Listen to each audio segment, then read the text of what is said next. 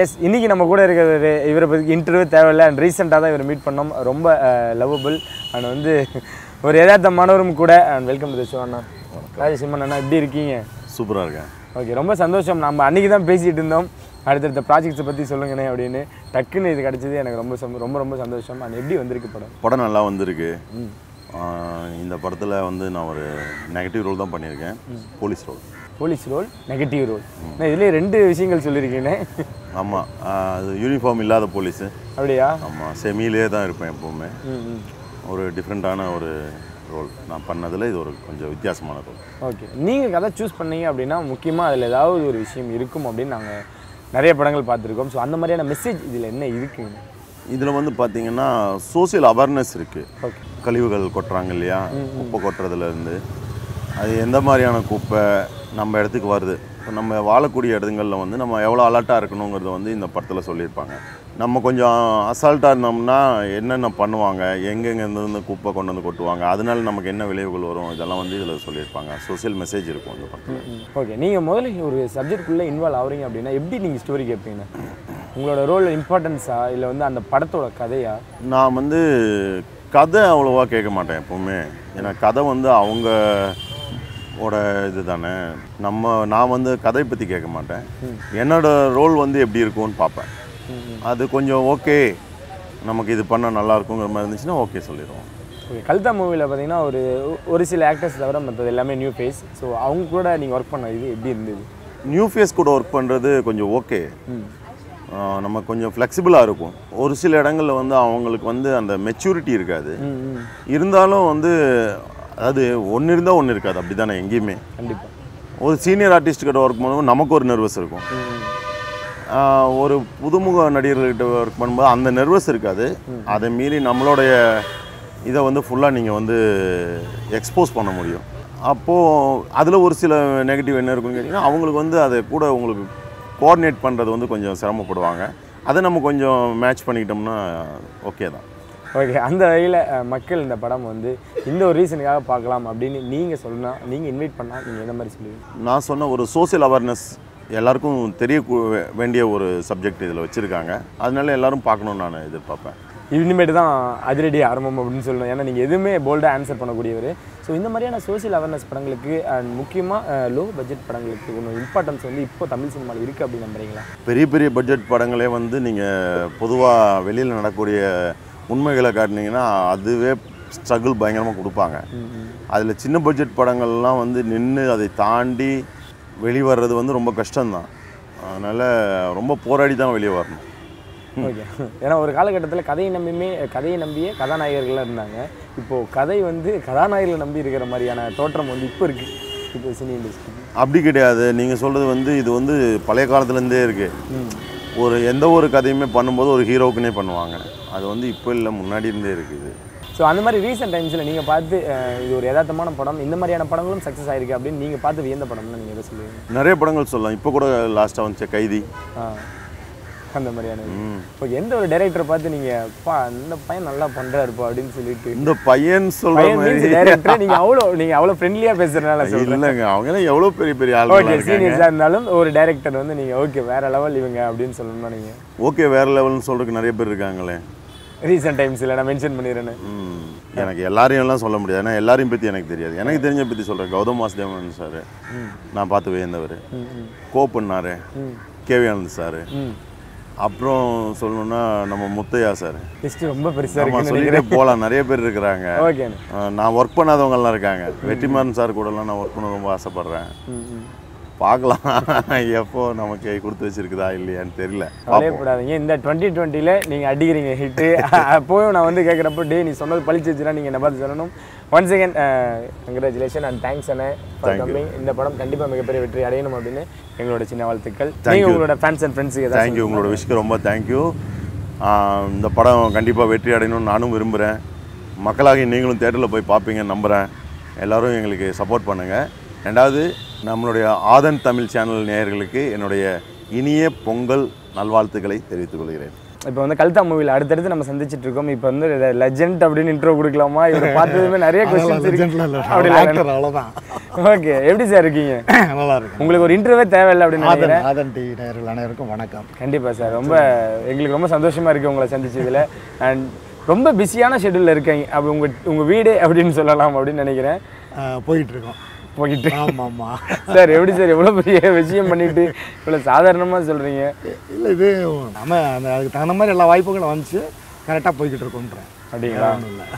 Sir என்கிட்ட அடுத்த கேள்வி எப்படி வைக்கிறதுன்னு அதுக்கு எங்கே போனாலும் நீங்கள் நீங்கள் என்ன பற்றியே கேளுன்ற மாதிரி நீங்கள் சொல்லிட்டு போகிறீங்க அப்படின்ட்டு. சார் எப்படி இருக்காரு அப்படின்னு ஃபஸ்ட்டு கேட்டுக்கிறோம். நல்லா இருக்கும் நல்லா ஐயோ நீங்கள் ஸ்ட்ரிக்டான அப்பாவா? அப்படியெல்லாம் இல்லையே. அப்படி இல்லை ஸ்ட்ரிக்டான அப்பாலாம் இல்லை ஸ்ட்ரிக்டான அப்பானா அவனை இந்த ஃபீல்டுக்கே விட்டுருக்க மாட்டேனே. ஏன் சார் அப்படி சொல்கிறீங்க இல்லை சொல்கிறேன். ஜென்ரலாக சொல்கிறேன் நான். இப்போ நம்ம ஆக்சுவலாக வந்து உங்களுக்கு தெரியும் எல்லாருக்குமே. ஒர்க் பண்ணிகிட்டு இருந்தான். மாதம் ரெண்டரை லட்ச ரூபா சம்பளம் வாங்கிட்டு இருந்தேன். ஒரு அப்பாவுக்கு அது போதுமான அளவு தான் இல்லையா? ஸோ அதை விட்டுட்டு வெளியே வரும்பொழுது இது எப்படியாப்பட்ட ஃபீல்டுன்னு உங்களுக்கும் தெரியும். எல்லாருக்குமே தெரியும். ஸோ இதில் மீண்டு வர்றது அப்படின்ற ஒரு பயம் இருக்க தான் செஞ்சு ஸோ அது வந்து அவன் உன் வாழ்க்கை உன் கையில். அந்த பாணியில் விட்டாச்சு. இன்னைக்கு பரவாயில்ல சார். சாந்தமாக தான் இருக்கீங்க. அடுத்தடுத்து கேள்வி வைக்கலாம்னு நினைக்கிறேன். சார் ஒன்றும் இல்லை சார். தமிழ் சினிமா உலகே பிரட்டி போட்டிருக்காரு அப்படின்னு தான் சொல்லணும். ஏன்னா தலைவரை அவ்வளோ பெரிய தலைவர் வந்து மறுபடியும் பாஷா ரேஞ்சில் அதை மறுபடியும் பார்ட் டூ மாதிரி கொடுத்தாரு. அதை பார்த்ததுமே உங்களுக்கு எவ்வளோ சந்தோஷமாக இருந்தது? அடுத்தடுத்து உங்ககிட்ட என்னெல்லாம் கேட்டுட்டு இருந்தாங்க? நான் அவரோட பெரிய ரசிகன். அதனால் எனக்கு வந்து அது பெருசாகவே எனக்கு தெரியல. ஆக்சுவலாக அவரை வந்து நாங்கள் அப்படி தான் பார்க்கணும்னு நினச்சிக்கிட்டு இருந்தோம். அதை வந்து முழுமையாக அவன் கொடுத்தான். ரொம்ப சந்தோஷம் நான்லாம் பாஷாலாம் ஒரு பதினஞ்சு தரம் பார்த்துருப்பேன் நான்லாம். ஆ போ. பாஷாலாம் பதினஞ்சு தரம் பார்த்துருக்கேன். ஏன் ஷோவே எடுத்தேனே. தங்கமகன் ஷோவே காலேஜ் டேஸில் நாங்கள் ஒரு தியேட்டர் ஷோவே எடுத்தோம் நாங்கள் அந்த அளவுக்கு அவர் மேலே ஒரு ஈடுபாடு. Okay sir. உங்களுக்குள்ள அந்த நடிப்பு திறமை லேட்டாக வெளியே வந்துருச்சு அப்படின்ட்டு எல்லாத்துக்கும் கொஸ்டின் இல்லை நடிப்பு திறமைன்றது கிடையாது. நடிக்கணுன்றது வந்து எல்லார் மனசுலையுமே உள்ளது. கண்டிப்பாக சார். இப்போ உங்கள் மனசுலையும் இருக்குது எல்லார் மனசுலையும் இருக்கும் நடிக்கணும் அப்படின்றது. என்னென்னா சினிமான்றது ஒரு பெரிய அதாவது ஈஸியாக வெளியே வந்துடலாம் அப்படின்னு எல்லாரும் நினச்சிக்கிட்டு இருக்கோம் ஒரு வாய்ப்பு கிடைச்சா பெரிய ஆள் ஆயிடலாம் சினிமா ஒன்று அரசியல் ஒன்று ரெண்டு தான் இல்லையா? அதில் வந்து சினிமான்றது வந்து எல்லாருக்குமே அந்த தாக்கம் இருக்கும். ஸோ நீங்கள் உதாரணத்துக்கு எடுத்தீங்கன்னா நம்ம ஏதாச்சும் ஒரு சின்ன படங்கள் பார்த்துட்டு இருந்தோம்னா அதில் இருக்கிற ஒரு ஏதாச்சும் ஒரு நல்ல கேரக்டருடைய டைலாகை பேசி பார்ப்போம். சின்ன பிள்ளையா இருக்கும் பொழுது அந்த மாதிரி நடித்து பார்ப்போம். இப்படியெல்லாம் இருக்குது ஸோ அந்த இது எனக்கு ஒரு வாய்ப்பு கிடைக்கும். அதை நான் பயன்படுத்திட்டேன். அது என் பையனால் தான் வந்துச்சு. ஓப்பனாக சொன்னோம்னா என் பையனால் தான் வந்துச்சு. அவனுடைய ஷார்ட் ஃபிலிமில் பண்ண பண்ணியிருந்தேன். அதுக்கப்புறம் பீஸாலாம் நானே கேட்டு வாங்கினேன். அதுக்கப்புறம் அப்படியே அப்புறம் கேட்டு வாங்கினேன். முண்டாசு முண்டாசு பட்டி இந்த வார்த்தையெல்லாம் கேட்குறப்ப சந்தோஷமா இருக்கு சார். நானே என் பையன் கதையில கேட்டு வாங்கினேன் அப்படின்னு ஸோ இந்த மாதிரி நான் சொன்ன மாதிரி கார்த்திக் சுப்ராஜ் அவரோட படங்களே ட்ராவல் பண்ணிட்டு இருந்தீங்க திடீர்னு கல்தா அப்படின்ற ஒரு மூவி நீங்கள் எந்த மாதிரியான சப்ஜெக்ட்ஸ் நீங்கள் செலக்ட் பண்ணுறீங்க சார்? இல்லை ஆக்சுவலாக வந்து எனக்கு கேரக்டர் நல்ல கேரக்டர் அப்பா கேரக்டர் தான் நிறையா பிளான் பண்ணுறாங்க ஸோ அந்த கேரக்டர் நல்லா இருந்துச்சுன்னா நான் பண்ணிடுவேன்.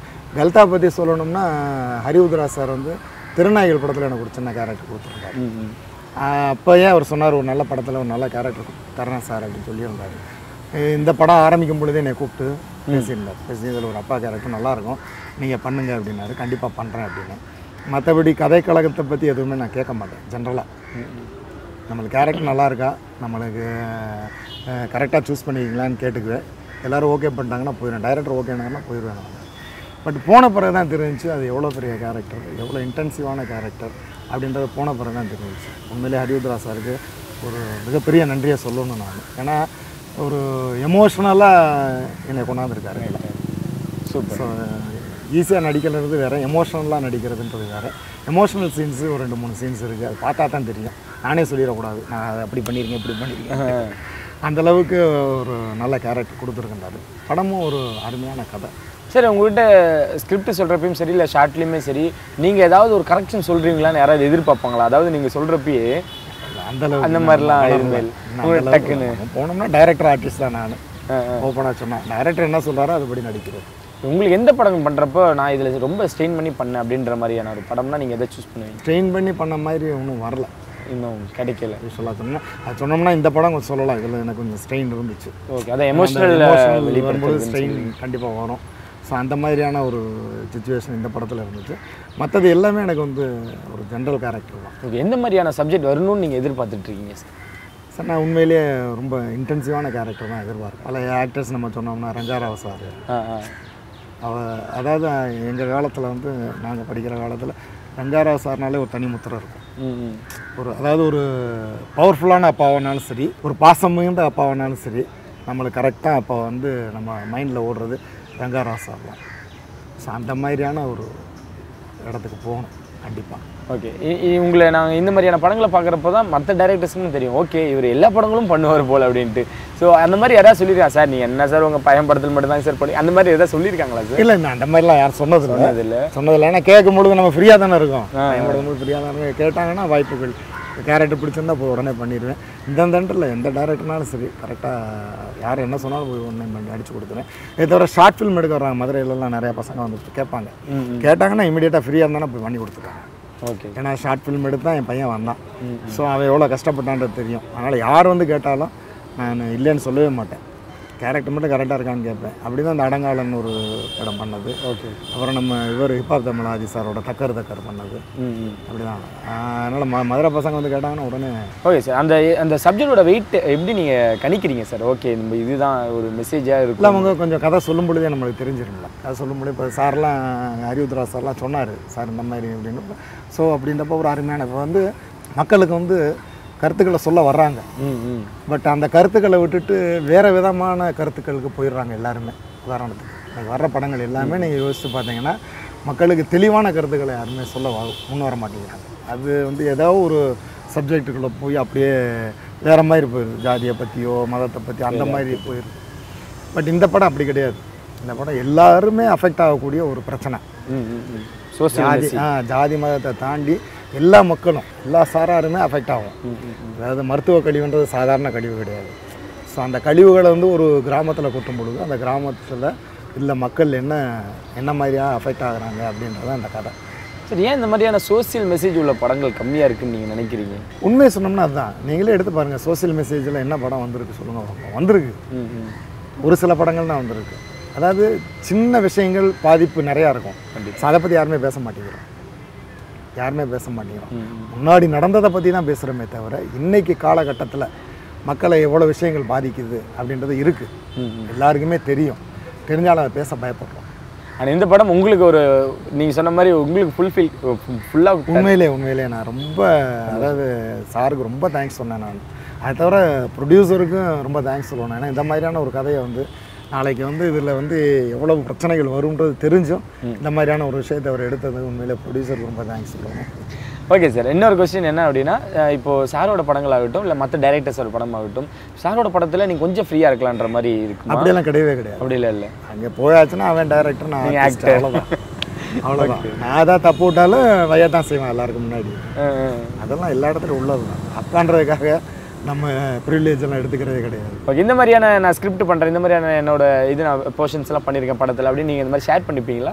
ஆ அது சொல்லுவேன். அதை சொல்லி ப- படம் முடியும் பையன்கிட்ட இந்த படத்தில் இந்த மாதிரி பண்ணியிருக்கேன் அப்படின்னா அப்படியா அப்படிமா அவ்வளோதான் கண்டிப்பாக சார். இந்த படமும் ஒரு வெயிட்டான ஒரு ரோல் அது மட்டும் இல்லாமல் நீங்கள் எமோஷனலை வெளிப்படுத்துறீங்க அப்படின்னு சொல்லியிருக்கீங்க. இதை பார்க்க நாங்கள் ரொம்ப நாங்கள் கொடுத்து வச்சிருக்கணும் அப்படின்னு சொல்கிறேன் சரி தேங்க்யூ ஸோ மச் சார். நிறைய படங்கள் தொடர்ந்து பண்ணணும். நன்றி. ஓகே இந்த படத்தை மக்கள் ஏன் பார்க்கணும் எதுக்காக பார்க்கணும் அப்படின்றத நீங்கள் மக்களை ரிசீவ் பண்ணீங்கன்னா எப்படி பண்ணுவீங்க அப்படின்றத நீங்கள் கேமரா பார்த்து நீங்கள் சொல்லுங்கள் மக்கள் அனைவரும் இந்த படத்தை வந்து ஒரு அருமையான சோஷியல் மெசேஜ் இந்த படத்தில் இருக்குது கண்டிப்பாக அதே மாதிரி என்டர்டைன்மெண்ட் எலிமெண்ட்ஸ் இருக்குது அதனால் நான் கண்டிப்பாக தியேட்டரில் போய் இந்த படத்தை பாருங்கள் பைரசி அவாய்ட் பண்ணுங்கள் எல்லாம் இந்த படத்தை பெரிய வெற்றி படமாக்குறது மக்களாகிய உங்கள் கையில் தான் இருக்குது அதை காட்டு இந்த படத்தை வந்து ரெண்டு பேருக்கு இடையில இன்டராக்ட் பண்ணுறது வந்து மீடியாக்கள் உங்கள் கையில் தான் இருக்குது அதனால் மீடியாக்கள் இந்த படத்தை பார்த்துட்டு அதை தெளிவாக மக்கள்கிட்ட கொண்டு போய் செலுத்தி ஒரு பெரிய வெற்றி படமாக்குங்கன்னு வேண்டிக்கிறேன். கண்டிப்பாக sir. Thank you thank you so much sir கேட்டதா சொல்லுங்கள் கண்டிப்பாக கண்டிப்பாக எஸ் இன்னொரு சொல்ல உங்களை சந்திக்கும் முறை உங்களை நான் உங்களுக்கு டபை டேக் கேர்